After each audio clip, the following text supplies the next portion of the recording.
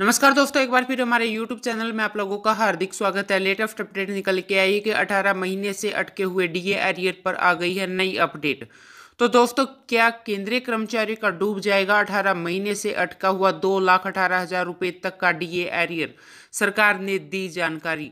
तो दोस्तों, एरियर के बारे में जो सरकार ने जानकारी दी है, उसके बारे में हम आपको सब डिटेल में बताएँगे। अगर आप हमारे चैनल पर फ़र्स्ट टाइम विज़िट कर रहे हैं तो चैनल को लाइक कर दीजिए, सब्सक्राइब कर दीजिए, साथ ही साथ बेल आइकन को भी बजा दीजिए, ताकि गवर्नमेंट या पेंशन से संबंधित जितनी भी न्यूज़ आती है, उनकी नोटिफिकेशन आप लोगों के पास तुरंत पहुँच के। तो करते हैं वीडियो को स्टार्ट बिना किसी देरी के।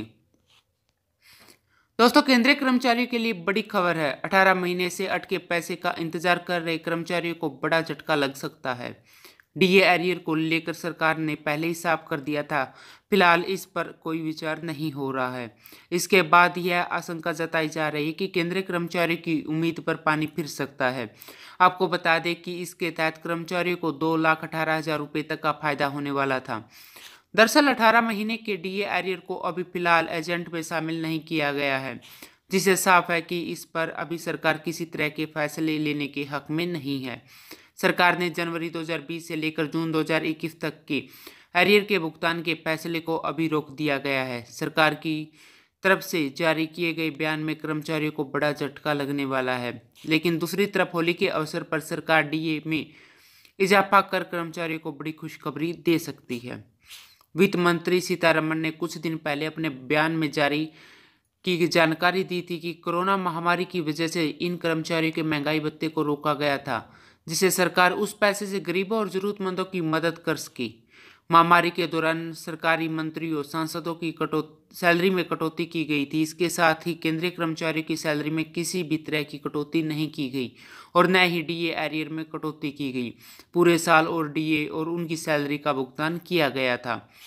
दोस्तों, नेशनल काउंसिलिंग ऑफ़ जेसीएम के शिव गोपाल मिश्रा के मुताबिक लेवल वन के कर्मचारियों का डीए एरियर ग्यारह हज़ार आठ सौ अस्सी रुपये से लेकर सैंतीस हज़ार पाँच सौ चौवन रुपये के बीच में बनता है। वही लेवल थर्टीन और लेवल फोर्टीन की अगर बात करते हैं, उनकी कैलकुलेशन की जाए तो कर्मचारी के हाथ में डीए एरियर का एक लाख चौवालीस हज़ार दो सौ रुपये से लेकर दो लाख अठारह हज़ार दो सौ रुपये के बीच में भुगतान किया जाएगा।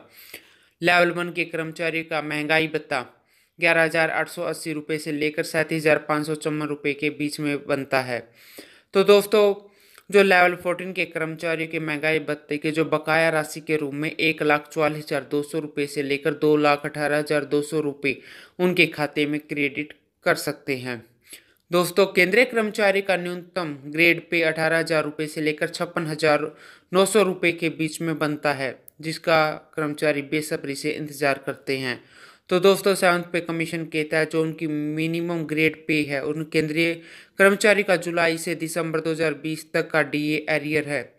उसी पर जो कैलकुलेशन की जाती है तो वो कर्मचारियों का दस हज़ार दो सौ बयालीस रुपये मिलेंगे। वही जनवरी से जुलाई 2021 के बीच डीए एरियर की अगर गणना करें तो चार हज़ार तीन सौ बीस रुपये होंगे। और वही छप्पन हज़ार नौ सौ रुपये पर अगर करते हैं तो तेरह हज़ार छः सौ छप्पन रुपये होंगे। तो दोस्तों, आज के लिए इतना ही, मिलते हैं नेक्स्ट वीडियो में, तब तक के लिए जय हिंद, जय भारत।